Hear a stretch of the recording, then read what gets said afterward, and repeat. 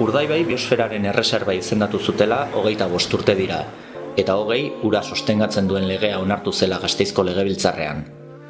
Ez du ematen baina ospatzeko asko dagoenik. Biosferaren erreserba garapen iraunkorrerako tresna bikaina da teorian, baina haren kudeaketan sortu diren itokinetatik itxasa da roso bat ari da ies egiten. Guggenheim Museo berriaren kasua da azkena. Sukarrietako txoko honetan eraiki gura du Bizkaiko Foru Aldundiak Guggenheim berria. Gaur egun umeentzako udalekoak egiten dira Ricardo Bastida arkitektoak diseinatutako eraikin dotorean. Alfonso Kainoren hitzak soilik bildu ditugu. Bizkaiko aldundiarekin harremanetan jarri arren ez baitute erantzunik eman nahi izan.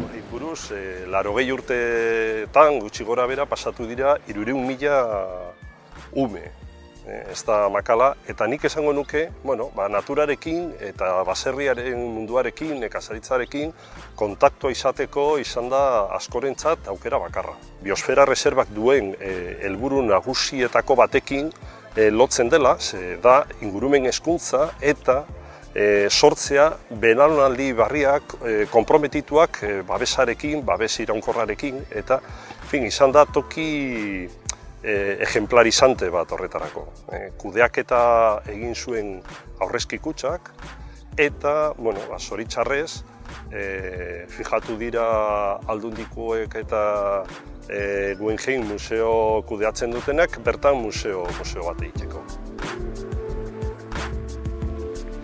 Jose Luis Bilbao Bizkaiko aldun nagusiak oraindik proiektu eta aurrekontu zehatzik egonez arren egin egingo dela ziurtatu du eta baita 100 milioi euro bideratuko dituela ere.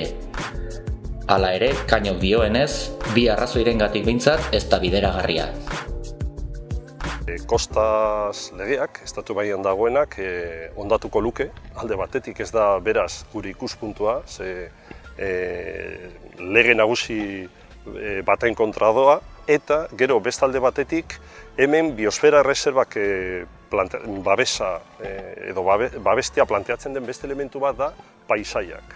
Eta zer esanik ez hemengo paisaia, ezta e, zoragarriak dira eta lehen komentatu dana ingurumen hezkuntza jokatzen duen papera, jokatu duen eta jokatu beharko luken papera. E, bikaina eta ordezka ezina.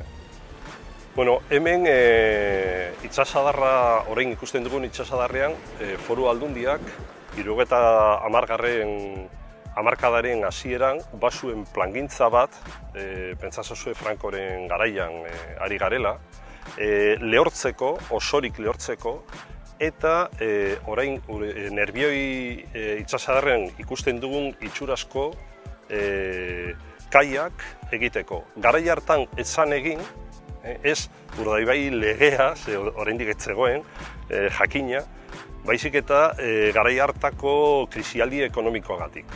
E, kapitalen faltagatik utzi egin zan, e, alboratu, eta, bueno, e, nik esango nuke garai hartan ziren bultzatzaileak jarraitzen dutela, eta apurka-apurka, eta era partzial esatika, joan direla e, proiektu batzuk e, atera nahiak.